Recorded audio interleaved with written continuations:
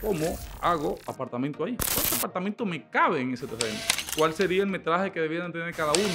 ¿Cómo yo puedo lograr mejor utilidad financiera? Esa es la palabra. Queremos hacer un apartamento para rentar y queremos buscar la manera realmente de hacer como que más dinero. Tener un poquito de dinero en el banco, muy poco, y queremos invertirlo como para venir a mi país. Me he pasado muchísimos años trabajando en Europa, en España, en Alemania, en Estados Unidos, en Canadá, y ya quiero como que volver a mi país. Quiero volver a República Dominicana, quiero volver a Santiago, a Puerto Plata, a Barahona, quiero volver a Tomayor, a San Juan, quiero volver, pero no puedo porque necesito de una manera u otra tener algo que me produzca dinero sin yo tener como que trabajar, sin yo tener que estar encima de eso. Y se me ocurre la idea de hacer un apartamento para rentar o un apartamento para vender. Y comienzo a pensar en ese terreno que tenían mis padres, en ese terreno que tenían mis abuelos, en ese terreno que yo heredé. O comienzo a buscar, a oportunidades de terreno que quizás puedo comprar. Y ahí me comienza la cabeza a decir, esto puede ser una posibilidad. Y entonces esa posibilidad yo quiero saber cómo hago apartamento ahí. ¿Cuántos apartamentos me caben en ese terreno? ¿Cuál sería el metraje que debieran tener cada uno? ¿Cómo yo puedo lograr mejor utilidad financiera? Esa es la palabra. A mí no me interesa que el dinero me venga de apartamento de uno, de una habitación, de dos o de tres. A mí no me interesa que, que venga de un local comercial o del alquiler de un parqueo, del alquiler de una piscina. A mí lo que me interesa es que mensualmente yo pueda conseguir más dinero de lo normal para poder vivir en paz. Para eso, hoy vamos a hablar de muchas cosas que van a ayudar a duplicar la rentabilidad. Muchas veces yo, cuando hago una evaluación en el terreno, lo que estoy buscando la manera de gastar menos, de gastar menos y de rentar más caro. Calderón, ¿y cómo, cómo yo hago eso?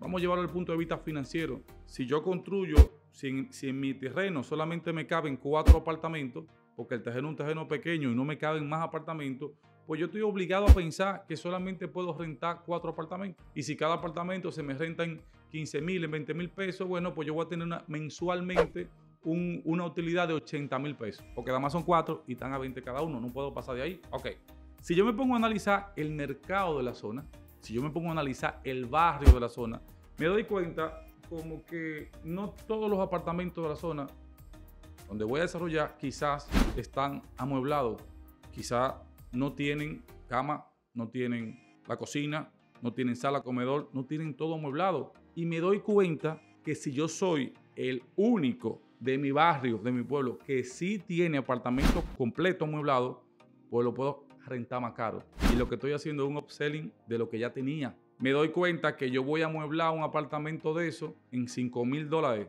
Y por 5 mil dólares o por 6 mil dólares lo voy a rentar al doble de lo que yo lo estaba rentando vacío. Y uno dice, ¿cómo vas? A mí, un apartamento nunca me va a costar 6 mil dólares. Pues por el simple hecho de amueblarlo y por el simple hecho que soy el único en la zona, el único en el barrio, el único en esas ocho calles, o me pagan lo que yo pido, o aquí apartamentos amueblados no van a tener. Y mientras yo pueda monopolizar el mercado, yo voy para arriba. Yo voy a subir el precio para arriba. Porque las personas, humanamente, ¿por qué rentan? rentan esa ubicación donde está mi terreno porque realmente tienen familia ahí, cerca de la zona, tienen historia ahí, tienen 40 años viviendo por ahí, tienen el colegio de niños cerca, tienen negocios cerca, trabajan cerca, hay cosas que lo atan y por eso, si estamos en Santiago, no le funciona un apartamento amueblado en Dajabón.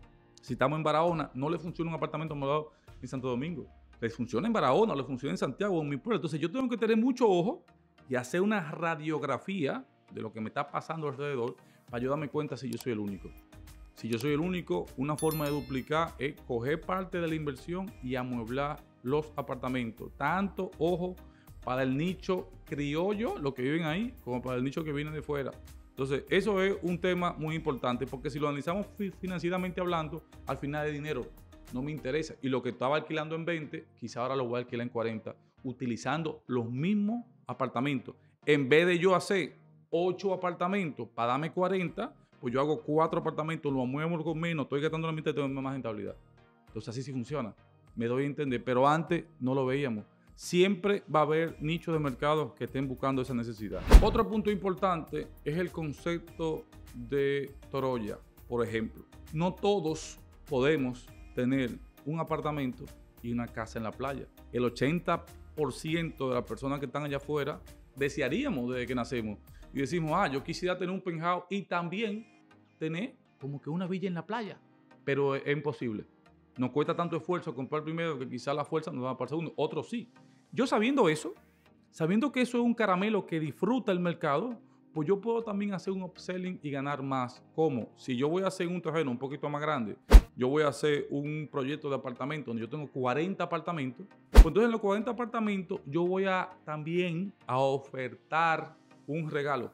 Y le digo, todas las personas que renten un apartamento aquí o que me compren un apartamento aquí, tienen derecho, son codueños de una villa frente al mar en Puerto Plata, de una villa frente al mar en Sofía. Y lo que estoy haciendo es que dentro del costo de las 40 unidades le estoy sacando un 5% a cada uno para poder hacer una villa frente al mar. Y como yo sé que lo que yo están atrás de eso, de tener su apartamento y una vez al año ir a, esa villa y sentirse dueño porque es gratis, pues lo compran. Entonces lo que estoy haciendo realmente es un concepto que se llama una miopía de valor. La miopía de valor no es que la villa le pertenece a ninguno de los 40 le pertenece a todo, pero de forma individual nunca la van a poder tener. Entonces yo en mi presupuesto de mi proyecto calculo, bueno, mi, mi torre me va a costar 10 pesos, la villa me va a costar 1, redondeo 11 y divido 11 entre 40 apartamentos. Y así cada uno tiene lo que emocionalmente querían. Y cuando me van a rentar, lógicamente que me van a rentar a mí o me van a comprar a mí, porque soy el único en el mercado que no está pensando como que en mí, sino estoy pensando como que en ello. En la medida que yo me olvido de mis gustos, como, como dueño del negocio, y ayudo a los demás, ellos, pues entonces pagan por ese valor. Y si lo ayuda más, pues pagan más. Entonces, el yo tener mucha sensibilidad con lo que le causa incertidumbre a ellos, es lo que me va a dar la oportunidad de poder hacer un gran negocio. Y me doy cuenta que por una pequeña villa que hice, pues le estoy sacando el doble a los apartamentos. Entonces, y ellos lo pagan como que contentos, porque cuando van a buscar en el mercado una opción parecida, como que no hay. Ok, una de las cosas también que ayuda mucho eh, con el tema de, la, de duplicar la rentabilidad es el ego. Todos tenemos ego. Ustedes lo tienen, yo lo tengo, es algo normal. En la medida que yo puedo meter esa gota emocional en el maíz del proyecto, yo puedo ganar más. Si yo tengo un terreno eh, en Nicaragua, o lo tengo en Panamá, o lo tengo en Costa Rica, en Puerto Rico, eh, eh, donde lo tenga, principalmente en las ciudades que son en proceso de desarrollo, ¿ok? Me voy a dar cuenta que hay cierta tipología de apartamentos que son escasas. Si yo salgo a la ciudad y quiero comprar un apartamento de dos pisos, por dentro solamente voy a encontrar los penthouse. Pero, ¿qué pasa si hacemos un edificio de apartamentos en donde todos los apartamentos tienen dos pisos? En donde cuando yo compro mi apartamento, rento mi apartamento, yo tengo una doble altura y tengo la habitación arriba y la área social abajo. Pero todo ese cristal está de frente hacia la vista de la montaña. O todo ese cristal está de frente hacia el mar. Yo estoy utilizando los mismos 100 metros cuadrados, 50 arriba, 50 abajo. Pero el diseño, la estructuración del concepto abierto genera una miopía de valor, lo que hablaba un momentico. Entonces, por un tema de ego, ven el apartamento, ven que nadie lo tiene en Barahona, que nadie lo tiene en Santiago, que nadie lo tiene en Puerto Plata. Y si me doy cuenta que esa tipología no existe en mi ciudad, en mi pueblo, pues es un momento para poder tomar una cosa. Y lógicamente, cuando las personas van a rentar o van a comprar, llevan a su mamá o llevan a su esposa a elegir y ven 1, 2, 3, 4, 5, 6, 10. Si de los 10, Calderón es el único que tiene apartamento de dos pisos, con escalera por dentro, concepto abierto, que nadie lo tiene por un tema de ego. Ah, no, yo quiero. Y están dispuestos a comprar como que un poco más. Entonces, eso es lo que nos ayuda a nosotros. Y nos compran apartamentos, como yo hice muchos videos, y no han ni siquiera entrado y se paran en su doble altura, te hacen una foto por WhatsApp, para mandársela a su grupo de familia en WhatsApp. Porque es más importante para ellos que su familia sepa, que el mundo sepa que ellos sí pudieron. Y por eso compran. La ponen en Instagram, la ponen en TikTok, la ponen el comunicar que ellos pudieron le eleva el nivel emocional y le eleva la calidad de vida. No están pensando en metro, no están pensando en materiales caros. Lo que están pensando en un diseño, en ellos son los únicos. Muchas de las marcas de ropa que hemos visto han subido el upselling porque son piezas únicas. Muchas joyerías es por pieza única. Al momento que yo lo que estoy vendiendo es un commodity, lo tiene cualquiera, pierde valor. Automáticamente pierde valor. Entonces yo tengo que entender eso. Cuando yo salgo al mercado, hacer un proyecto, veo un terreno, lo que primero que estoy analizando es el entorno que yo tengo alrededor, que, que yo, que yo tengo para saber cuál es la debilidad del, del, entorno, del barrio, de la zona, para saber qué yo puedo hacer aquí. Y en función de ese nicho de mercado, pues entonces duplicar la rentabilidad. En este punto es muy importante entender que para muchos, a muchos nichos de mercado, el tiempo es sumamente relevante. El tiempo a veces, para muchos de los que están comprando, principalmente esta nueva generación, es mucho más eficiente, es mucho más valioso que el dinero. No todo es así, pero existen. Entonces, si en, en ese pequeño edificio de apartamento, parte de los, de los elementos de valor que estoy entregando son cosas como que tiene un gimnasio, o que tiene una terraza, o que tiene un coworking, pues lógicamente para muchos van a levantar la mano, yo quiero.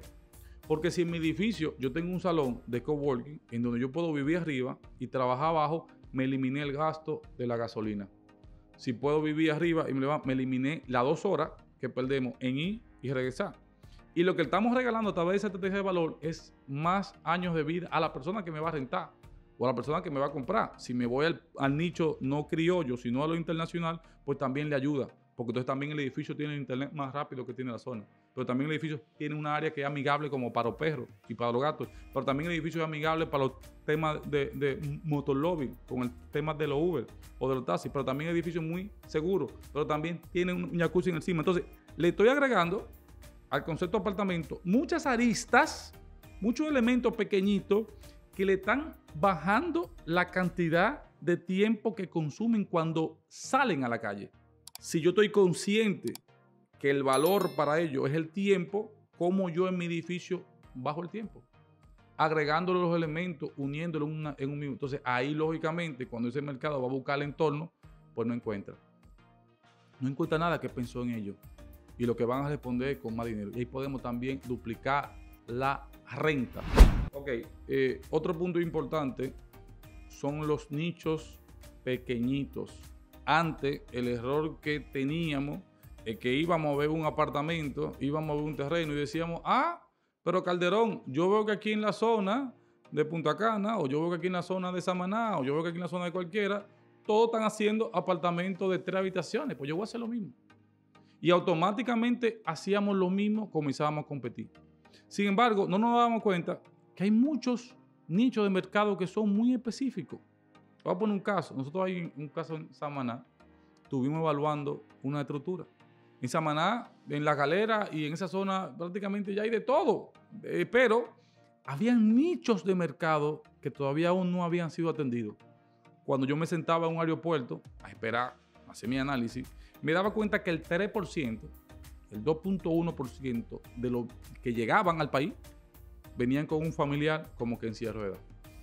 Venían con un familiar que tenía una deficiencia, ya sea que nació así o hasta de, un accidente. O ya venían con los padres que tenían cierta edad y tenían que andar en silla de ruedas. Y había un 3% que tenía esa situación.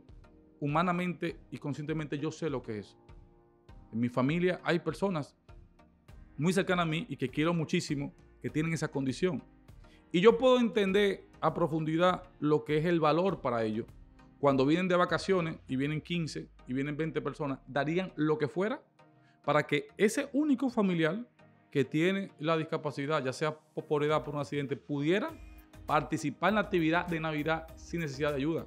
Pudiera entrar a la piscina, pudiera salir al parque, pudiera, pudiera, pudiera. Pero cuando van a buscar villas para rentar, como que ninguna tienen eso. Todas son basadas en la mayoría, en la masiva. Todas son escaleras. Entonces, cuando entran al apartamento es incómodo entrar a un baño porque en el baño, en vez de poner la, calidad de 70 centímetros, la, puerta de 70 centímetros, como siempre se la ponen, había que ponerla de 1.10. Y en 1.10 él sí puede entrar. Cuando voy a hacer calor, en vez de hacer calor, voy a hacer rampa con una inclinación de 8%, de manera que sea fácil subir, pero también sea fácil bajar. Cuando hago a la piscina, hago toda la circulación de la parte social con esa facilidad. Cuando voy a entrar a, a la habitación, que él también se pueda. Y lo que estoy haciendo es que al final, entendiendo el valor de ese nicho de mercado, y entendiendo que no hay nadie en Samaná que lo esté cubriendo, pues comienzo a ser yo la única villa familiar que sí es hiper amigable para discapacitados. Y lo que hice fue que le agregué al presupuesto de la villa, si me costó un peso, le agregué 0.01 en esas cositas. Y ahora la puedo alquilar doble. Y ven cómo ahora con una mínima inversión, yo, pues yo puedo subir el upselling. Ellos se sienten muy contentos, ellos la pasan fenomenal en ese día los padres, en la pasa Navidad y nosotros cobramos más. Pensando en ellos, ayudándolos a ellos, pues nos ayudamos como que nosotros mismos. Y de eso se trata la rentabilidad. Nunca se trató del egoísmo. Lo que pasaba antes que nosotros decíamos, yo, en mi familia no tengo nadie válido, ¿para qué yo voy a hacer eso? Y no me di cuenta que sí hay gente que necesita, valora y paga en el público criollo y en el público internacional. En los últimos años, por el aeropuerto de Punta Cana han pasado más de 2 millones de turistas. Si yo calculo 2 millones y lo multiplico por el 0.3%, hablando de cientos de gente con el mismo caso. Sin embargo, yo además tengo una villa. Y ahí es donde yo entiendo donde puede encontrar mi mercado. Ahora, si no lo hago, ya sé que voy a competir con las 200 opciones más que hay en Internet. Entonces yo tengo que ser como que único, relevante, importante para ese mercado. Siempre que financieramente esto cuadre, pues lo vamos a usar. Otro de los puntos importantes es que, por un lado, estamos viendo cómo hacer que el producto sea más deseable. Estamos viendo cómo lo podemos rentar más caro, gastando menos.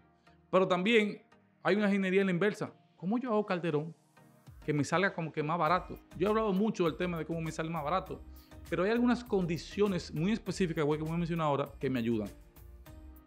Cuando yo voy a comprar materiales, si yo voy a comprar un millón de pesos en materiales, no voy a tener como que tanta oportunidad ahí. No me voy a tener tanta comisión, porque lógicamente un millón de pesos es un monto muy manejado en los, en los ferreteros.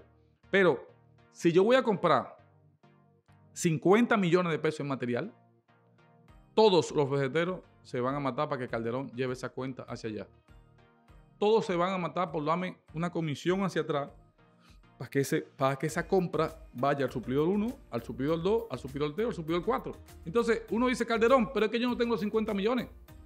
Pero lo que sí tengo es como que tiempo. Y cuando voy a construir mi solar, me doy cuenta que a la misma par mía, por coincidencia, están construyendo aquí, están construyendo aquí, están construyendo aquí y están varios construyendo. Entonces, ¿qué hago? Me reúno con todo lo que están construyendo, converso esto y le, explico, miren, si cada uno de nosotros vamos de manera independiente a comprar un millón o dos de material, no vamos a recibir ventaja.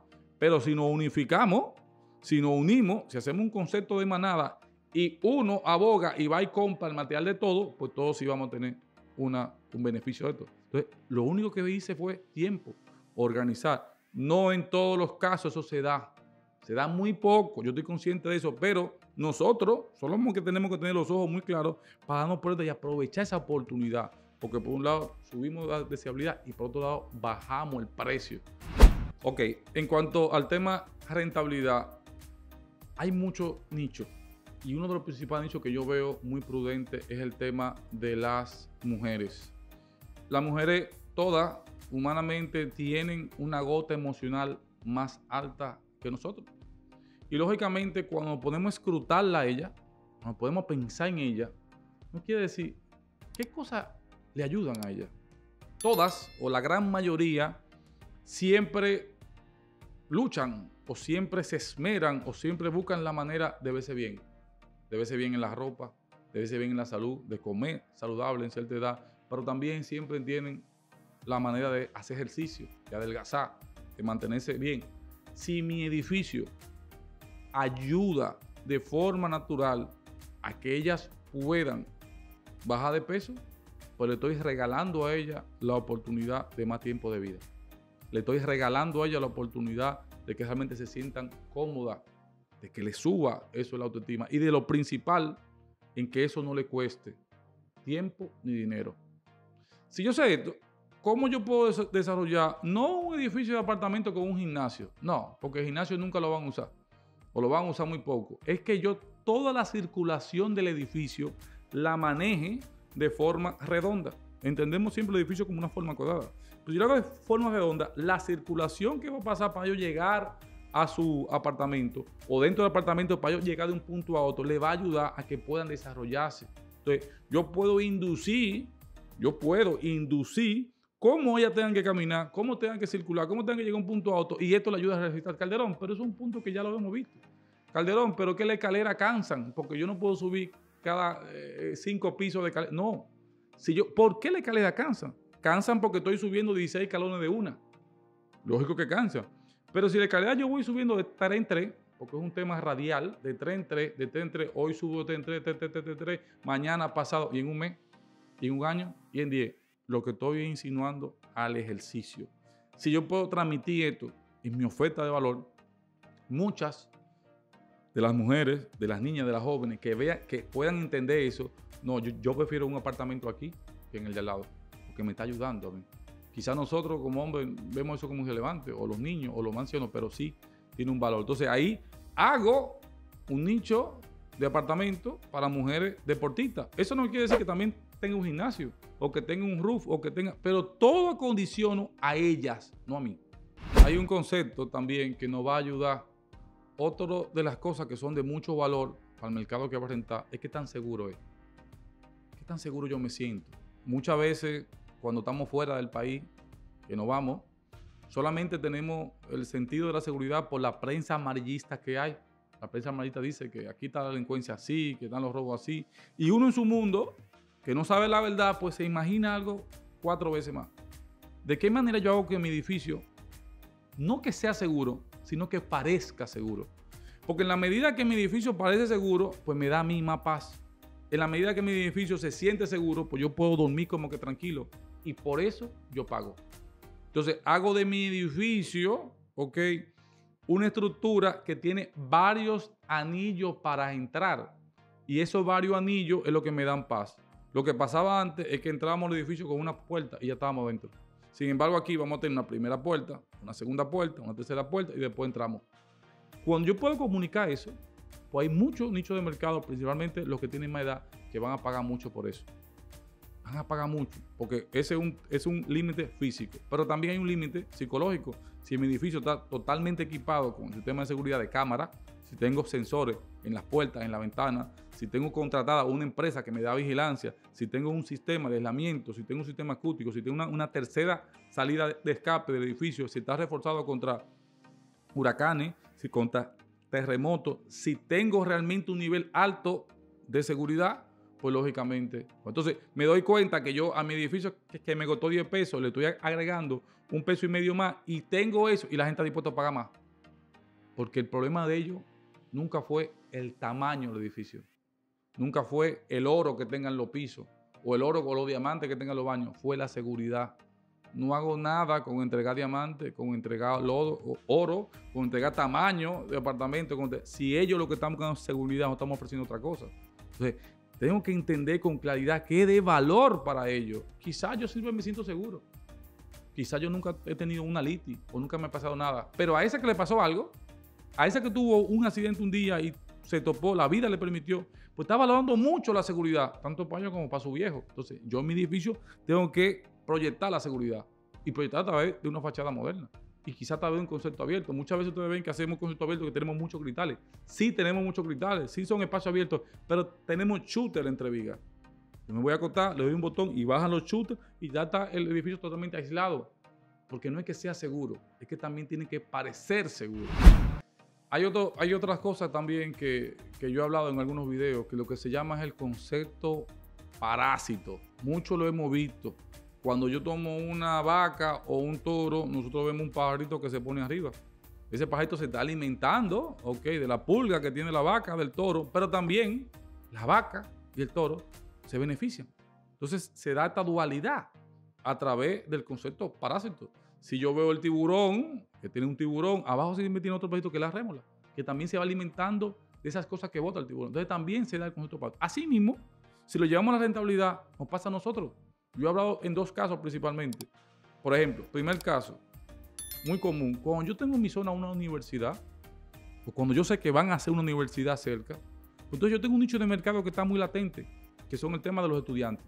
Y para los estudiantes hago mi edificación los estudiantes sabemos que se van a las 8 de la mañana y entran a las 8 de la noche. No necesitan mucho espacio, lo que necesitan es estar cerca de la universidad. Entonces, ¿qué hago? Hago en mi, en mi terreno, que quizá me pueden caber 8, 10 eh, apartamentos grandes, pues no hago 10 apartamentos grandes, sino que hago 20 chiquitos. Le bajo el costo a la unidad para que ellos puedan tener accesibilidad. Y los padres, ojo, y los padres, pues pagan porque el, hijo esté cerca. porque puedas realmente resolver, porque le da más tranquilidad a que tengan que montarse en un transporte y durar eh, media hora, una hora para llegar. Entonces, mi nicho de mercado, yo entendiendo el tema universidad, hago un producto como que para ellos. Y parte de las cosas que van a valorar los estudiantes es que aparte de que está cerca, el apartamento también está amueblado. Aparte de que está cerca, ya tienen todos los servicios unidos, el gas, el internet, la data, la seguridad y las cámaras. Aparte de que está cerca ese edificio, también en cierto momento cuando llueve me da un tema de transporte. Entonces, no solamente estoy resolviendo en esa edificación el tema del apartamento, del techo que no se mueven, que duerman tranquilos, no, no, sino todas esas aristas que son muy relevantes. Muchas veces todo lo que hemos visto, y lo hablé hace poquito, también hay algo que se da en el tiempo. La renta es lo que podamos sacar hoy, lo que podamos sacar mañana y lo que podamos sacar como que en 40 años. Pero me doy cuenta que las ciudades, los pueblos, las zonas van cambiando, van creciendo. Y lo que comenzó hoy como residencial, quizás esa calle de mi pueblo se convierte en muy comercial. Entonces, ¿de qué manera? Esa edificación que voy a hacer, como ya al agua a través del concepto mímesis, que lo expliqué en el video anterior. Y la mímesis es que hago un edificio de apartamento en donde, una edificación en donde no todos los muros de ese diseño aguantan peso. Antes se entendía que todos los muros de los apartamentos como que aguantaban peso. Antes se entendía como que todo tenía una responsabilidad estructural. Y como que no es así. Van a haber eh, eh, eh, paredes, van a haber muros que sí van a tener una responsabilidad estructural, por eso deben tener una composición de hormigón armado, el sistema natural de bloque y cemento, pero que hay otras que simplemente van a fungir como división. Yo le a poner el ejemplo del vidrio. Si yo quito ese vidrio, esto no se va a caer. O sea, que yo puedo en cierto momento agrandar el apartamento o subdividirlo según el mercado. Y lo que me estoy dando cuenta, lo que voy con esto, que eso que yo comenzó una vez como un apartamento de, renta para familia, mañana saco la familia, lo redivido y lo convierto en una farmacia. Porque si el apartamento me daba 15, la farmacia quizás me va a dar 40. Y lo que me estoy dando a la farmacia, porque ya la zona se llenó de personas, pero en ese radio de 5 kilómetros no hay farmacia. Entonces, ¿de qué manera yo me aprovecho de esto? Y eso se trata de la mímesis. La mímesis ustedes la, ven en el pulpo y la ven en el lagarto. Yo decía en el video pasado, si yo cojo un lagarto que es blanco, lo pongo aquí, pues se va a poner, se va a poner azul. Porque él se va a adaptar, se va a igualar a la necesidad de ese entorno para poder sobrevivir. Y en la medida de que en nuestro edificio se pueda esa mutación, se pueda ir adaptando al color de la zona, a la necesidad de la zona, pues siempre vamos a sacar más de la renta porque nada es estático. Entonces la mímesis es un elemento que nos va a ayudar también en el tiempo, pero lo tenemos que pensar desde el primer día. O sea, lo tenemos que pensar desde el primer día. Ya yo sé que va a cambiar el efecto, lo voy cambiando, ya sea uniéndolo a los lados o hacia arriba o hacia abajo, pero va a cambiar. Me preparo para eso y así hago un diseño de apartamento para sentar con el concepto mímesis. Lo más normal y lo más humano es que uno tenga este proyecto en la cabeza, pero no tenga la forma de cómo hacerlo. Calderón, yo no tengo todo el dinero tengo una parte. ¿Y qué hago? Como no tengo el dinero, lo que pienso es no hacer nada y ese dinero que tenía lo voy gastando en, otras cosas. Sin embargo, hay un concepto que se llama el concepto fast track, lo he mencionado anteriormente. ¿Cuál es el concepto fast track? ¿Cómo yo hago que ese edificio de apartamento vaya creciendo junto conmigo? Porque es verdad que no tengo el 100%, pero quizás tengo el 40%. Entonces lo que vamos a hacer es que vamos a construir esos cuatro pisos del edificio. Supongamos que son cuatro apartamentos. Vamos a construir cuatro pisos, uno encima de otro. Pero por dentro solamente vamos a desarrollar uno. Y los otros tres por dentro no van a tener piso, no van a tener pañete, no van a tener pintado el techo, no van a tener electricidad, no van a tener cocina, no van a tener baño, no van a tener carpintería, sino que sencillamente con el presupuesto que tengo, ojo, me preocupo de terminar el edificio por fuera. La persona que pasa y ven el edificio dicen, oh, pero mira, un edificio nuevo, ya está hecho. En su mente, el mercado piensa que todos los apartamentos por dentro están como que listos. Que todos los apartamentos por dentro están listos para entregar. Sin embargo, no es así. Entran a la escalera a ver los apartamentos y como nada más tenemos activado el piso 1, ellos suben para arriba y ven por fuera la escalera todo pintado, pero no pueden entrar al apartamento. ¿Quién tiene la llave? Calderón. Entonces, en su mente siguen pensando que están listos por dentro, pero no es así. Sin embargo, al ellos pensar que el edificio está dentro, eh, terminado, ¿qué van a hacer? Yo quiero uno y ahí yo alquilo abajo. El que sí estaba listo. Porque dijimos que de los cuatro vamos a coger el primer nivel y lo vamos a terminar. A ese sí primer nivel le vamos a poner el tema de, la, de los pisos, de la cocina, los baños, a funcionar nuevo, listo para entregar. Y ese lo rentamos.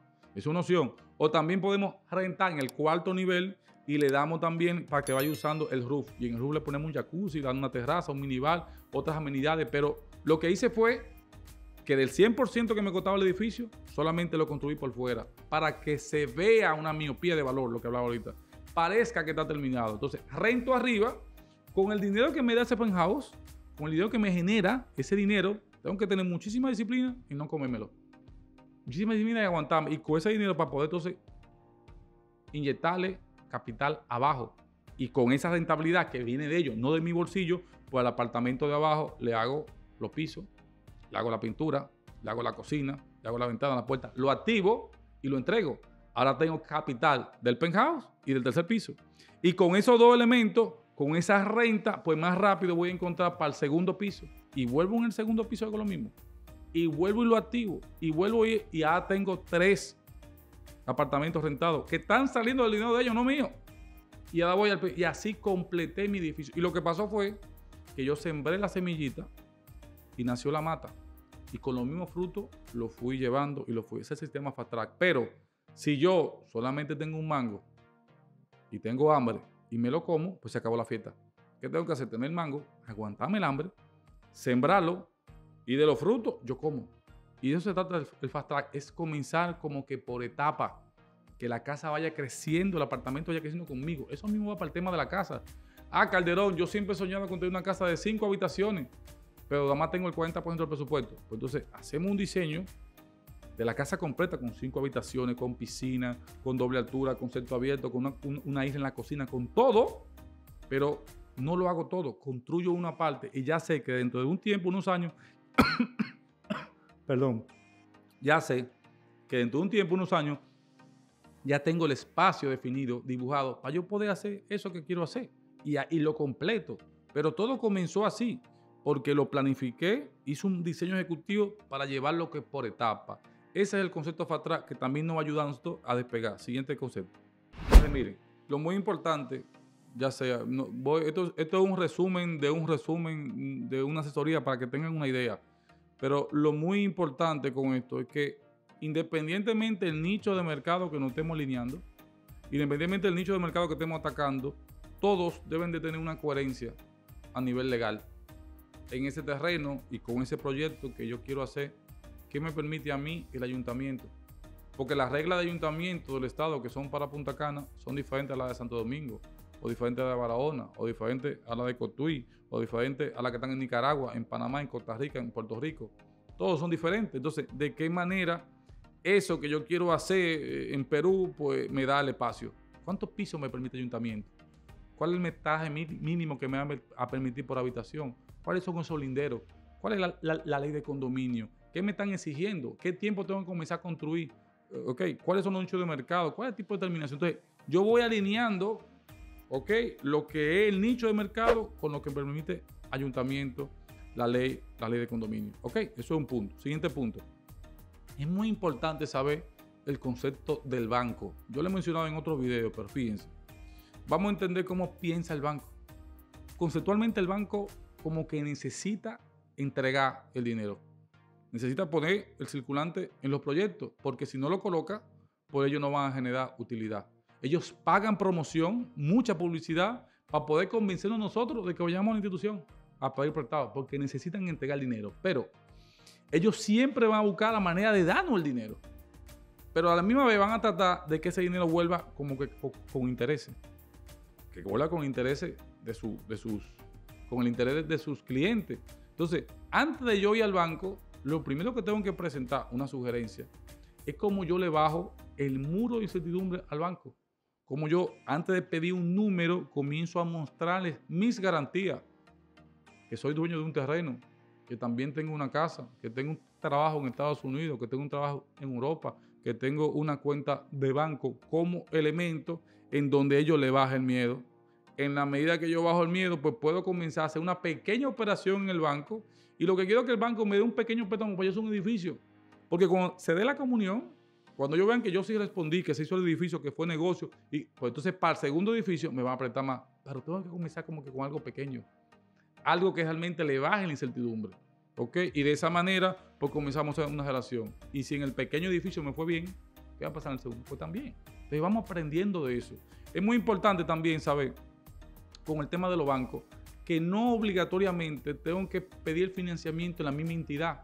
Si yo sé que aquí los bancos nacionales tienen una tasa de interés más alta y yo que vivo en Alemania, yo que vivo en Estados Unidos, yo que vivo en Europa, sé que en Estados Unidos quizás me pueden prestar a un 2%, a un 3%, un 4%, pues yo veo cuánto me pueden prestar a nivel de allá en Estados Unidos por mi historial, porque tengo 30 años trabajando, 20, 5, 10, cuánto me pueden prestar y cojo parte del dinero del 100% allá, porque allá el porcentaje es más bajito. Lo que estoy bajando es el costo financiero del dinero. Ya cuando eh, eh, ya el Bank of America me dice, no me puedo prestar más, Calderón, ya, tú, ya usted llega hasta ahí, pues entonces lo otro que me falte, lo busco entonces en el Banco Criollo. Y ya estoy pagando el Banco Criollo un por ciento más alto, pero no tengo que coger el total del dinero. Ojo con eso. Muchos tenemos esa posibilidad de pedir prestado fuego, entonces tenemos que agotar ese tema financiero. Y de último, pues yo veo mi dinero. Entonces tengo tres elementos que me van a ayudar a financiar. El cuarto elemento que me van a ayudar a financiar, aparte del, Banco de Estados Unidos, el banco eh, aquí o en Nicaragua, en Costa Rica, el capital que tenemos, es la preventa. De qué manera yo puedo catar capital de esos futuros inquilinos que me quieren comprar. De qué manera yo puedo pedirle un 5%, un 10% para que yo compren en plano, para yo tener utilidad. Y con esa utilidad, pues entonces financiar el edificio siempre van a haber varias formas de cómo llevar el proyecto hacia adelante. Lo importante es que antes de tomar las decisiones, pues la podamos escrutar. En Internet hay mucha información también, ¿ok? Y estos son conceptos que parecen muy difíciles, pero son cosas muy sencillas. Poco a poco la vamos viendo. Entonces, ya cuando yo tengo el tema financiero resuelto, ¿de qué manera antes de gastar yo puedo prospectar? Aquí póngame muchísima atención, que es muy importante. Lo que han llegado a este punto del video, ¿eh? Se lo agradezco porque realmente muestran el interés, pero aquí, eh, aquí voy a hablar de la clave. Por ejemplo, ¿qué pasaba antes? ¿Por qué perdíamos dinero antes? O sea, ¿qué era? Ah, hacíamos un edificio, lo desarrollábamos con un concepto, nosotros pensábamos que iba a funcionar y de repente teníamos sorpresa. Tomamos la decisión de hacer ese edificio por cosas que yo pensaba que podrían ser. No por estadística de mercado, no porque hicimos una radiografía del terreno, sino porque a mí me dijeron que puede ser el apartamento de 3 o de 4 y no funcionaba. Sin embargo, la nueva forma de hacer los proyectos buscando rentabilidad es que antes de gastar un blog, antes de gastar un presupuesto, yo ese edificio lo voy, a hacer mi proyecto ejecutivo, voy a hacer todo el tema legal en ayuntamiento y en los bancos y lo voy a vender. Lo voy a vender en plano. Lo voy a vender. Entonces, la gente viendo lo que van a recibir, los clientes viendo eh, el proyecto que tenemos, pues sí levantan la mano y sí miran un avance un 5, un 10%. Y lo que estoy asegurando al cliente antes de gastar como si vendiéramos antes de ponernos riesgo. Entonces, esto lo que va a hacer para nosotros es que va a bajar, a bajar el riesgo en la medida que bajemos todos los riesgos, porque está el edificio entero vendido y no hemos gastado un blog, pues lógicamente podemos desarrollar tranquilo. No vamos a tener sorpresa, porque ya tenemos el capital y los clientes amarrados. No como pasaba antes, que arrancábamos a hacer el edificio para después para ver si se vendían. O arrancábamos el edificio para ver si se rentaban. No, tenemos que prospectar. No todos los clientes tienen las mismas necesidades. No todos los clientes quieren entregar el mismo valor. Yo no puedo rentarle a los primeros cinco que se me paren al frente del edificio porque estoy perdiendo. Normalmente lo que pasaba antes que le estábamos rentando al cliente equivocado. ¿Cómo así, Calderón, al cliente equivocado? Voy a poner un ejemplo. Yo hablo mucho de todos los, videos. Si yo le pregunto a cualquiera de ustedes, dígame un artista que le guste. Ah, muchos me van a decir, no, yo me gusta Romeo. Por ejemplo, si a muchas de ustedes les gusta Romeo, hay muchas que me va a decir, Calderón, yo por un concierto en Romeo en el Madison, yo pago full price, dos mil dólares la taquilla. Y yo quiero estar ahí adelante porque yo soy fan. Pero van a haber muchas que no van a pagar los dos mil dólares, que van a pagar quizás 50 o ni siquiera van, porque no, son tan fan. Y si yo le, le, regalo esa taquilla a un chino que no habla ni siquiera español, ni obligado a ir, o sea, que vamos a tener siempre en el amperaje de los clientes gente que van a pagar dos mil dólares porque son muy fan y otros que no van a pagar cero. El problema es que cuando yo hago el edificio y se lo quiero rentar, se lo estoy rentando a los chinos que pagan cero, los que tienen poco valor, un, ejemplo, en vez de a los fans. ¿De qué manera en ese proceso de construcción yo voy prospectando, dándome cuenta quiénes son los que tienen más temperatura para rentar para comprar y lo que no? Y con eso negocio, y con eso converso y con eso hablo. Y todo lo que no tiene temperatura lo paso a un lado. Entonces voy encontrando que para mí quizá yo comencé y le puse un precio al apartamento, yo pienso que se puede alquilar en 20 mil pesos, pero hay otro que viendo cómo se desarrolló el edificio, viendo todo el valor que le entregamos, viendo todas las cosas que pensamos en ellos, yo pues ese edificio, yo, yo no pago 20 mil, yo pago 40 y ahí alquilo. Entonces lo que estoy descubriendo, qué tan diamante es mi propuesta, qué tanto se enlaza a ello, qué tanto pude resolverle, qué tanto pude entender la sensibilidad de ese mercado que quizá hoy no ha sido atendido. Entonces, este es el mensaje de, de, de, estos proyectos. Antes no se pensaba así. Hoy la demografía ha cambiado como que mucho. Y mientras hace 40 años los apartamentos se buscaban casas grandes porque eran familias grandes de 1, 2, 3, 4, 10 muchachos, hoy, 2021 no. Mamá, papá, un hijo, quizá dos. Entonces, quizá vaya bajando. Y, y ahí es que nosotros debemos encontrar el valor. Las realidades son diferentes en el tiempo. La realidad que tiene hoy un pueblo no es la que tiene el otro. La realidad que tiene hoy la, ciudad no es la que tiene. Entonces, nosotros entendiendo la realidad, escrutando, el, el dinero lo tenemos que gastar en esa parte que es la fundamental, la parte intelectual, la parte de estudio de mercado, la parte que nos baje la incertidumbre, porque estamos buscando rentabilidad. Ya si el tema fuera para una casa campestre, que voy a hablar un video de eso ya mañana o próximamente, o para un tema de nosotros vivir, son otras cosas. Ya el mercado no es el mercado, sino el mercado somos nosotros mismos, o ustedes como, su familia, cómo ustedes viven la, casa, cómo pasan la Navidad, cómo tienen, qué, cultura tienen. Entonces ahí ya vamos a hablar de otras cosas, pero aquí lo fundamental es eso. ¿ok? Nunca se trató de hacer edificios caros.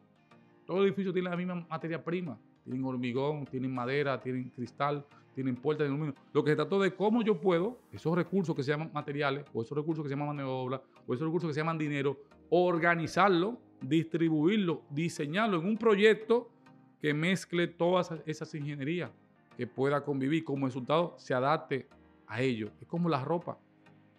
¿Qué pasaba con la ropa antes?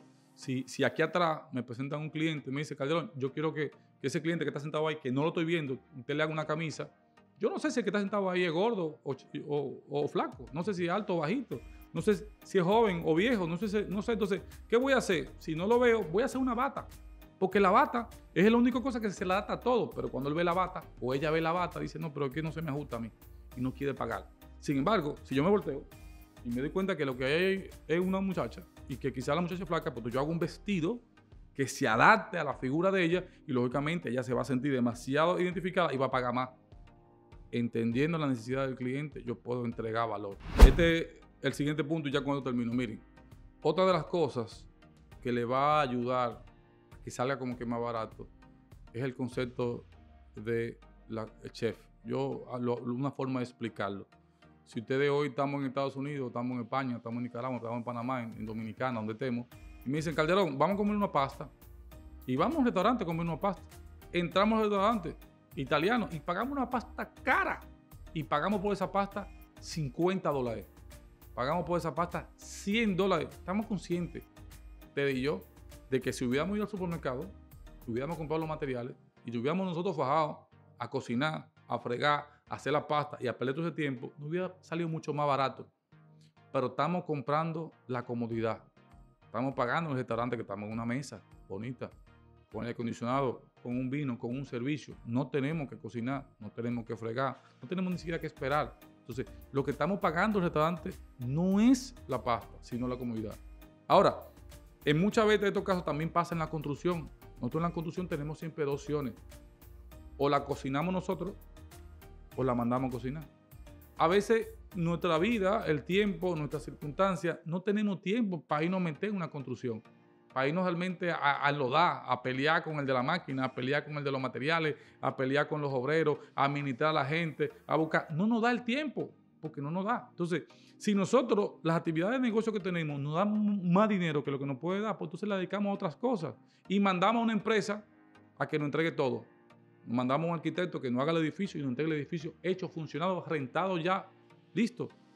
Pero estamos conscientes de que si lo hacemos así, nos tiene que salir un poco más caro como nos sale una comida en un restaurante cuando vamos.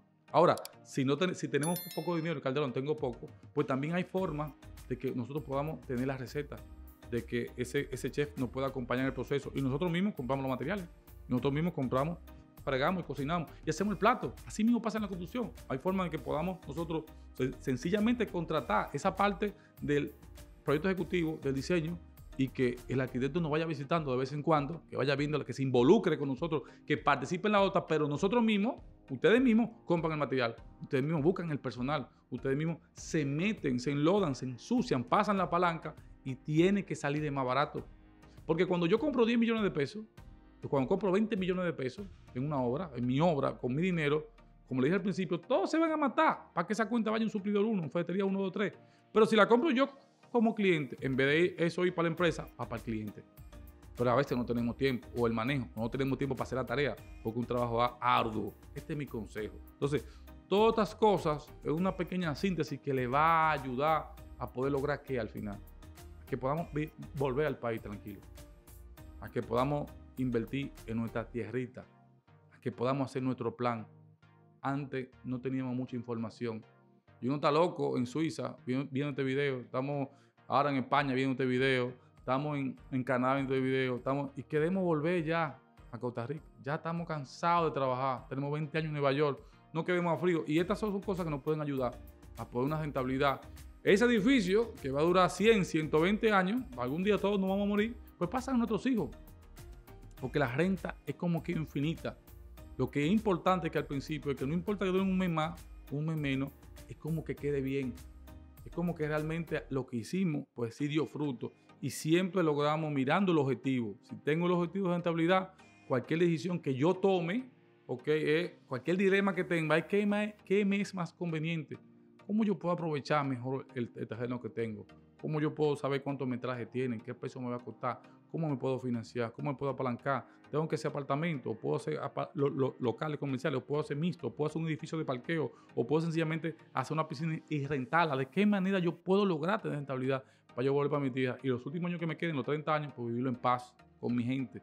¿O cómo puedo llevar a mi mamá también al país? Entonces, esto es muy importante que lo tomen en consideración. Realmente le doy muchas, muchas gracias a los que llegaron hasta este punto del video. Se lo agradezco. Y también le voy a decir algo importante, una nota, miren. A veces uno tiene un familiar, un primo o un hermano o alguien que está pasando por esta situación. Si ustedes lo ven bien, yo les pido que por favor se lo compartan, porque quizá ellos a través de este video lo pueden encontrar el mejor camino. Yo soy el arquitecto Calderón, especialista en diseño y construcción. Me pueden escribir sus comentarios ahora a nuestro canal de YouTube y también pueden escribir a nuestro WhatsApp.